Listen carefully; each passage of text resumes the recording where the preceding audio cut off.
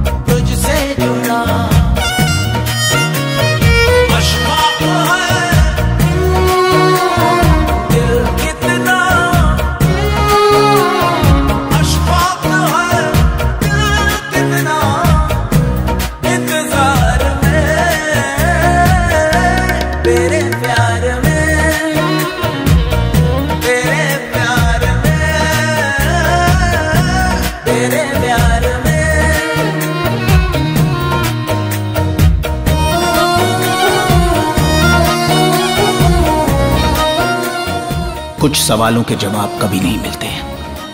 मैं आज तक नहीं समझ पाया कि तुमने मुझे क्यों छोड़ दिया।